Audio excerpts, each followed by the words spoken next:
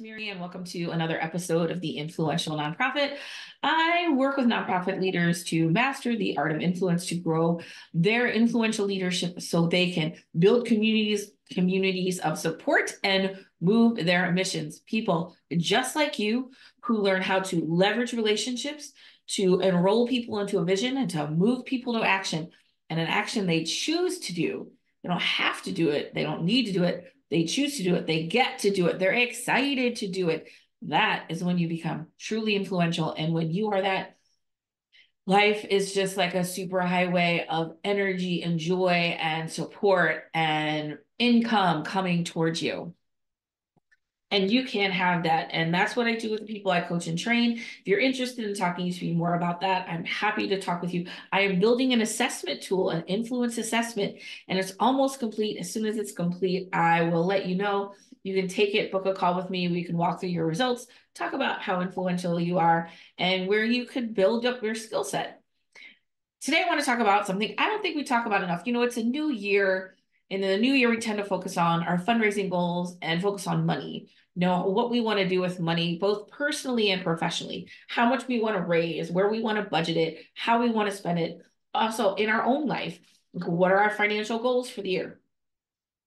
And in fundraising, we get a lot of strategy. Do this, say this, talk to them like this. If you approach them like this, it'll work. How do I? Here's how you ask. Da da da da da.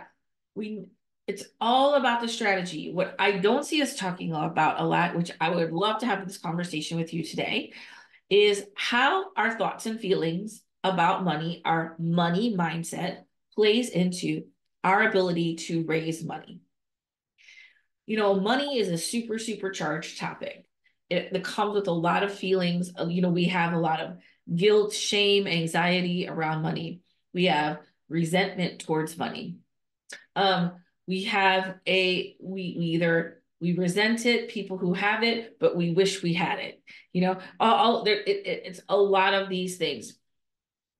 And all of this combines to sometimes cause barriers to asking for money because you may not understand how your thoughts and feelings are making it harder for you to ask for what you need know, like think about the stories we tell ourselves about money.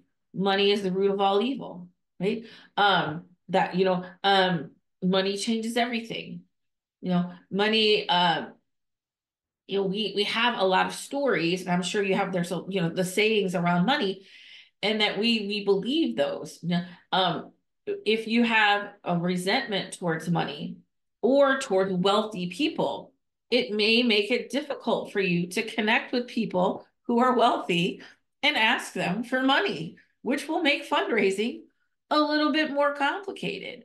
You know, many years ago, I, I had a client who who uh, ran a small nonprofit and went to a benefit for a much larger nonprofit, and he was overwhelmed with the money in the room. And he's like, I just don't, I don't know the kind of people who could throw down five thousand dollars a night those aren't my people.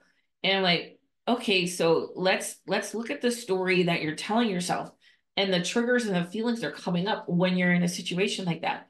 Because those energetic barriers those energetic barriers will cause you to not connect with the people who may be able to support you. You know we are an inside out job okay? So we say oh if i raise this much or if i do this i'll feel good when actually it's the opposite. It's like, oh, if I feel like a confident fundraiser, I will. You know, I when I feel good about money and the role it plays in my life and the role it plays in my organization's life, I will be able to ask more of it to raise it. And so remember, but most of our fundraising training is from the outside in. It's all about strategy. Do this, do that. We don't talk about how the thoughts and feelings really contribute. So we're going to unpack that today and, and we're going to talk about it. Um, as always, I love comments, questions.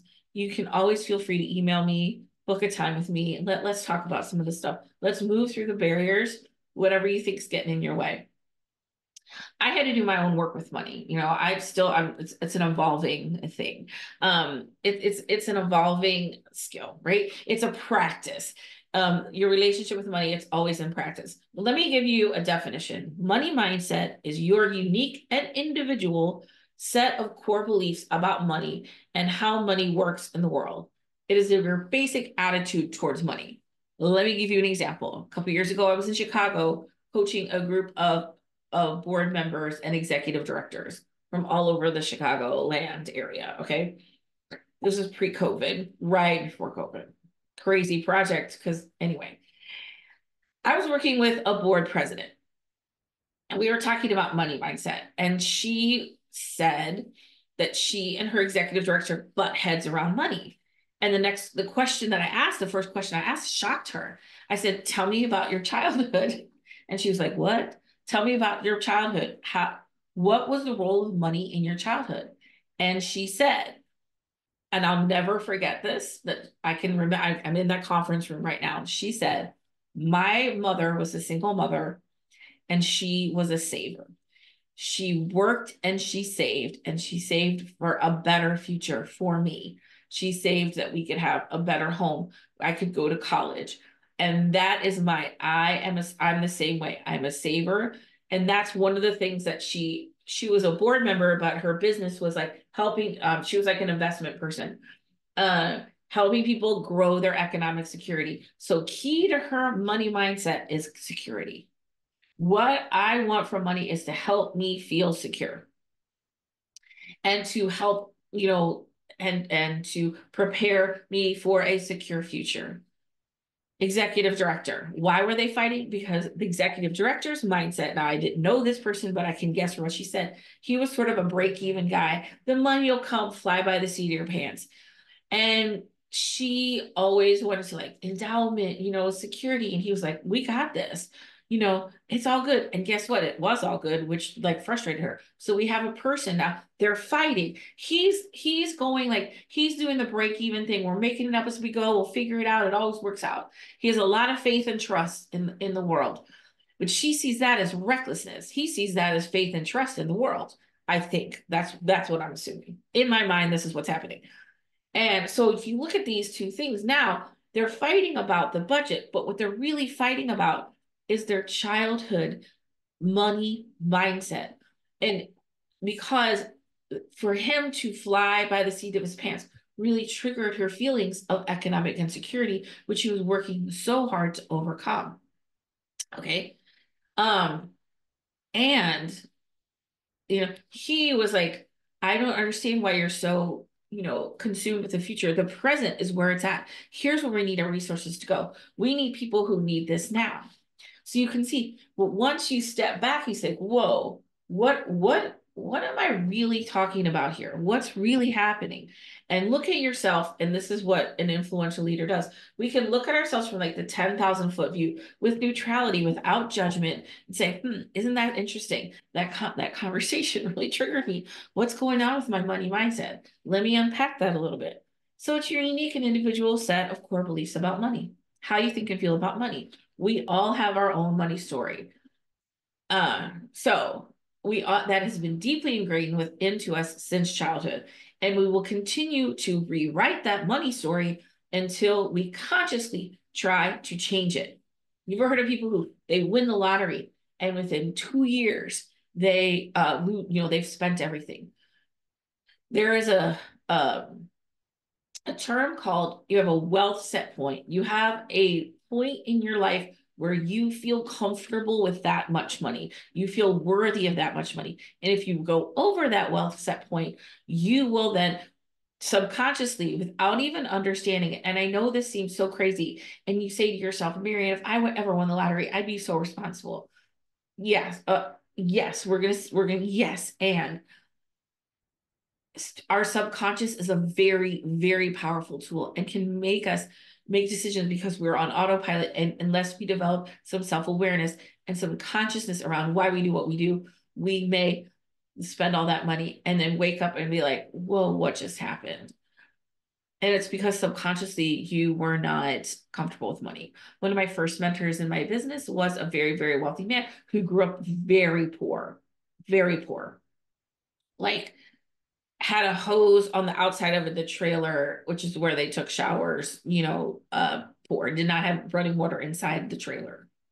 Um, and he grew up to amass millions and millions of dollars, if not almost billions.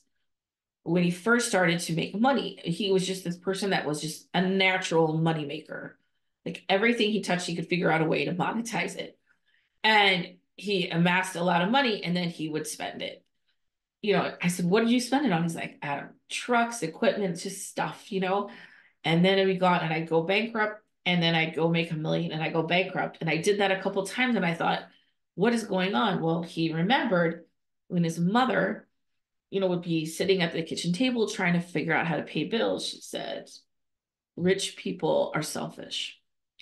And he was taught that rich people are selfish. So anytime he amassed money subconsciously, he wasn't comfortable with it and he would spend it. And until he figured that story out and rewrote a story, he would be continuing in that cycle.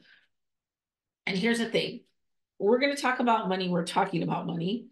I, I want to I want us to separate the guilt and shame. This is pre-programmed stuff that's just inside us and just see if we can't look at our stories with more neutrality, without judgment. Why did I do that? What did I do? It just like let, let's just open it up and and and just look at it neutrally. Isn't that interesting? Okay, that happened. Because the thing is, how we shift it is to understand how our brain works. And our brain works because we want to make it work for us, not work against us. But we are hardwired evolutionary for fear. We are hardwired for fear. And that's because many, many, you know, thousands of years ago, the world was a much more dangerous place. Okay. Your chances of living throughout the day were much less than they are now. That was just that's just, that was just how, how the world went. Our survival of, you know, of of illness, of, you know, of violence or whatever. Um, that was greatly, and so our brains are hardwired for fear. So they're in, always in protection mode. And so our brains around money are gonna be like, let's, oh, I have to keep it, da, da, da. Um, and our brain's programming and our brain, our the, the subconscious is the biggest part of our brain. Our subconscious is what we call the autoconscious. It doesn't think, it just does. And that's some people say 70 to 95% of our brain is on flipping autopilot. It is being controlled by the thoughts and feelings that are deeply programmed into it from our childhood. So honestly, adults who really aren't unpacking their stuff and doing the work and becoming more conscious are just children in adult in adult bodies, children in adult bodies that who who are who are acting with because of the thoughts and feelings and the belief systems that were ingrained in them as children. And so, in the case of the ED and the board president, that conflict was got charged because of the triggers that they got from their childhood. So, if they could step back and say, okay, I value saving, you, you know, you value being able to make it up as you go and, and making the magic in the moment. Neither one is right or wrong it's just how we see the world. So what what what and remember um um a couple weeks ago I did about polarity and moving beyond polarity. This is the perfect way to move beyond polarity. It's not spend or save. What what's what's this what's the third way? What's the influential way? You know, that's on the other side of that where it doesn't have to be one or the other. But remember that our money mindset is driving our relationship to money at all times. And unless we consciously change it, we were going to be lived by it. In, in our fundraising world, we don't ever talk about what our relationship to money is. How do we think and feel about money? How do we think and feel about wealth, about rich people, about poor people, about you know people who have money, people who don't have money? Um, there are a lot of beliefs that are ingrained in us from our childhood. And once we sort of inventory those, we can switch to them. I'm going to share my money story with you because, you know, I, am going to, good leaders go first. And uh, I'll, I'll, share my, um, uh, my money story. And again, this is a practice. This is constantly evolving. Let me just share my money story with you. Um, I, I am the, I am a later in life child. So I just turned 58. Um, my parents were born in the 20s, and which seems like a really long time ago, but and I mean, and I mean by that, I mean 1920s, not 2020s. They were born in the 1920s. Uh, and uh, they were children of the Great Depression and World War uh, uh World War II. Um, my um, I, I know a lot less about my dad's thoughts and feelings than I do my mother's. Um, and I can tell you that my mother, during the Depression and World War II, her father owned a grocery store and they lived above the grocery store. And um, this was in Baltimore. And my mother was considered wealthy because she had food. yeah. Although my her father and mother never saw themselves as wealthy or had money. They were very, very frugal. My mother having had her formative years during the depression, and I know there's a lot of you who can who can relate to the to the depression era. And I do feel like we are still living so much of that trauma and how we think and feel about money because that was passed down from generation to generation because there are people who lost everything now my mother because of my grandfather's business they wound up doing okay and and also my mother was an incredibly frugal person because you did not know you did not know when it was all going to be taken away. So you have to save what you have. And she would, and I know there's so many like um like people like boomers and Gen X's and maybe even millennials that remember that silent gen and the basement's full of food because my mom, if corn was on sale, my mom's buying the corn. My mom would take a gallon of milk because we had five kids and she would make powdered milk and do half and half. Yikes. Um, my mom could stretch a dollar and and and we didn't have we were not indulged. Um we didn't eat out. Um a, christmas we had lovely holidays. We got a few things. There wasn't anything like super indulgent. That just that's not who they were my money so then i rebelled against that because i saw the frugality of my parents and said well that doesn't look like fun i'm going to do whatever i want and the planet pendulum swung the other way and I went, you know, and I rebelled against that mindset by spending and just sort of doing what I want with my money whenever I wanted. And and neither one is right or wrong. This isn't about that. I'm just saying, uh, and yet I was acting on the, I still was adopting my parents' mindset. I was just acting on it differently because I was rebelling against it. And I was like, wow, I have to really unpack that. And and I have to tell you, like we just had the holidays when my kids were little. My husband's family, they they they weren't spendy except at Christmas. Mom and dad went crazy at Christmas, and my husband loved to go crazy at Christmas because that was a big fond memory of him as a child. And I just remember when my kids were little and you know because kids get bigger and the presents get smaller and more expensive and kids are little they're big. So we have all these boxes and stuff and all this wrapped and i'm like oh my it's too much. Like it made my stomach hurt. This is too much. This is too indulgent. And my husband's like what? It's fine. Because my mother that mindset of like oh it's too much. You can't indulge it was like physically affecting me. Like this is a physical thing. You know if you meet somebody who has a tremendous amount of wealth and you could feel yourself getting nervous or uncomfortable, this is your money mindset at work.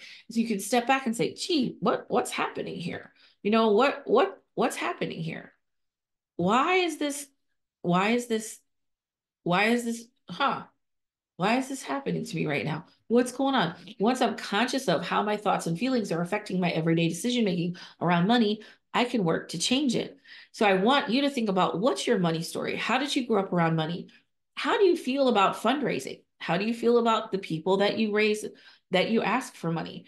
There can be a lot of resentment towards people with wealth when you want to ask them for something. It can make you feel vulnerable. It can make you feel, um, um, you know, inadequate, and or it can make you, you know, resentful. There's a lot of stuff that can come up that can push away a relationship subconsciously, you not even knowing it. Let me share uh, a couple of things. I'm going to talk about specifically what I see are the biggest triggers in fundraising that come from our money mindsets. Um, first of all, is fundraising is the worst because it doesn't feel fair. Our money mindset is that mo- money must have an equal exchange. This is called market value. Market value means I'm going to go, I'm going to find shoes that I like. I'm going to pay for the shoes and I'm going to take them shoes with me. That is a fair transaction. Right? I order a pizza, I pay for the pizza, the pizza is delivered. That is a market value transaction. We want to see fundraising as a market value transaction. It's not, is a social value transaction. And so it doesn't feel fair because you're giving me money. What are you getting for it? Good feelings, the thank you. That's not fair. That's not right because we're looking at it through our market value lens. If you it, the the way to shift that is first of all understanding your money mindset beliefs, but also understanding that the greatest gift that we can ever give is our assets, our time, our money, our our contribution. And when people give, they feel really, really good. And they are aligning their assets with their highest goals and ideals.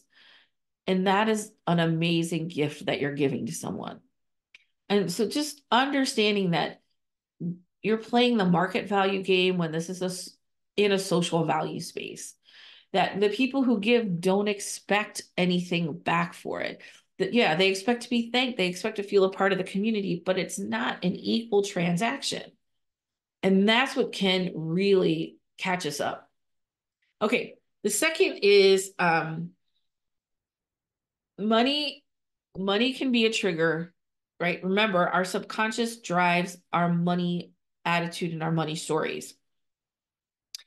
And the biggest thing is that in nonprofit is we are mired in scarcity. We believe and i think this is culturally what we believe but especially in the nonprofit space that there's never enough or there will never be enough. And and we we tend to make decisions based on that. So for instance let me give you a for instance. Now i'm working with a client and they're working on expressing themselves more authentically. And in that authentic expression may talk about a program or a viewpoint or a mission um, or a movement that might not align with what a donor has with what a donor wants. Well, I can't talk about that because what if they don't become a donor? What if they stop giving me money? So I stay quiet. And by staying quiet, I might even be per perpetuating the very problem that I'm trying to solve. But I stay quiet because I'm afraid that donor is going to leave. Where am I going to find another donor? Oh no, I got to hold on to what I have. I got to hold on to that crummy board member that's totally checked out and and doesn't show up for everything and probably would just love to be relieved of their duties because where am I going to get another one? And, then, and so we get mired in scarcity when an abundant mindset and an influential leader, like everything we do is rooted in abundance, knowing that I get to release what no longer serves me to make room for what does. I get to release the people who, you know, the the the people who whose beliefs and values no longer align with our organization that's okay. You let them go because now the people who will come are the ones who are truly aligned, who will stay with you. Their love is not conditional. And, and so that that scarcity versus abundance is a big thing that we want to hold on to what we have. We want to hold on to the mailing list we have. Where are we going to find other people? And they haven't, you know, sent you any, they haven't done anything in five years to keep mailing to those people. They're not going to give. Release them think about abundance. I am releasing these folks so that the people who um, are really truly my people, I, I'm making room for them. Um, scarcity versus abundance. That's that's a big thing. So we talked about the market exchange. We're playing the wrong game, right? We're playing the market value, and it's really a social value game. And we're mired in scarcity. And if we can shift to more abundant thinking, because here's the thing there's enough for everyone. I believe the universe is limitless and abundant. I believe that there's enough out there for everyone. I believe that um, money's everywhere. We just have to attach ourselves to it. And when you can step into that, that's when the opportunities open up. Okay. Here's another trigger asking for stuff asking us makes us feel insecure. Why? Because we we are being come into a vulnerable position where we're asking for help. Okay, we're asking for help. And we have the uh, possibility of rejection. That's the trifecta of fundraising. It's about money, it's about the vulnerability of asking for help, and it's about the uh, possibility that you could be rejected. That's a very powerful combination that would thwart most efforts. So, if asking makes us insecure, what do we do? Grants, events, direct mail, anything that we can do so that we don't have to ask for anything we do. But what really moves people to action is the personal invitation. People don't give because they weren't don't weren't people don't give because they weren't asked. And the reason they're not asked is because we are afraid of rejection. And we're afraid of the feelings that are going to come up when we ask somebody for money. And those feelings are so powerful. Let's just send them an email. Let's just do an event. You know, because the event feels more like a market transaction, which feels safer. Are you getting this? Are you with me? Are you hanging it? I would love to know what is coming up for you right now because I'm sure some stuff is, and that's perfect. That's what we want. All right. Every year, um, I want to go back to scarcity for just one second.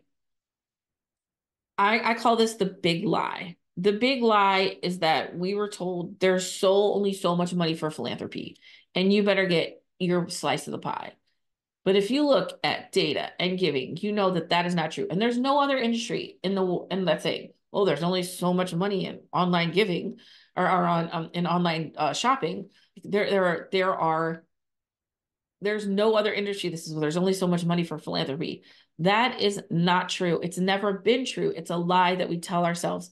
And that lie keeps us separate, it keeps us siloed, it keeps us from collaborating, it keeps us working in, you know, our, our donors uh, our, uh, list close, you know, um, in, in the secret because there's only so much for philanthropy. I have, I have to get my slice of the pie. And listen, I have to confess, I told this lie. I told this lie because somebody told me it was true and I believed it. All right. Um, so you know, and and and if you look at anything like oh COVID, no one's giving in COVID, there was a thirty percent. What it was it? Long thirty percent increase in giving during COVID. We can always make up stories about why people won't give. Oh, the economy, and and those of us who've been in this game a long time, we've we, we we've seen everything. We've seen recession. We've seen housing crisis. We've seen wars. We've seen everything. It's not about the external. People give because they're asked, and that is just the bottom line. But we're afraid to ask because it triggers very complicated feelings around how we think and feel about money. And the way forward through that is to really understand those feelings, right? And and then create new stories that serve you more effectively. So that's what we're going to talk about now what are some new stories that we can replace than this old garbage that really isn't serving us?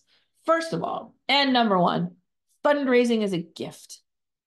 It is how we show up our best.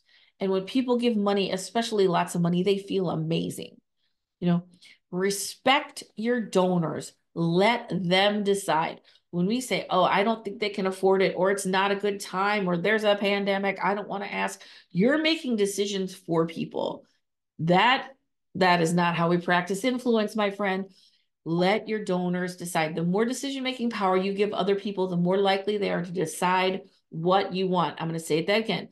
The more decision making power you give other people in any aspect of life, the more they're going to decide what you want. But if you decide for them, they're going to get mad.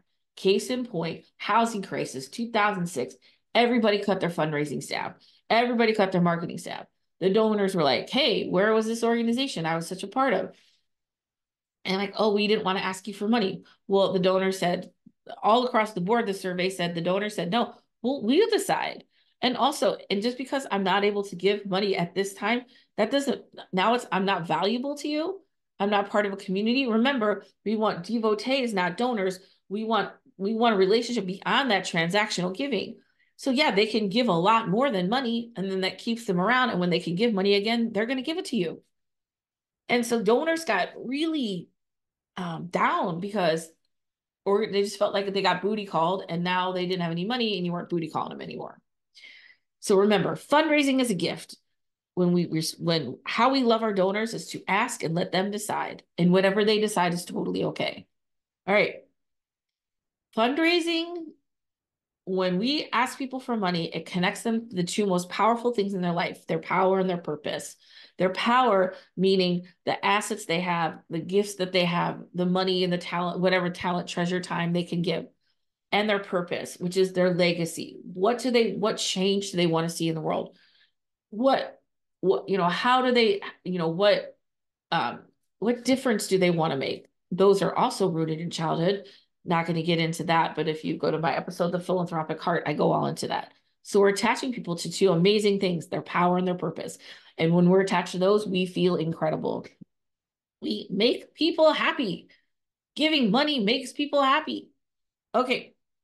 So if we look at it it's a gift when we respect our donors, left people aside, and we're here to just make people happy, attach their assets to their highest beliefs and values. What a beautiful way to connect with someone. So, talk about this. How can you retrain your brain? First of all, let's get let let's let's let's inventory your stories.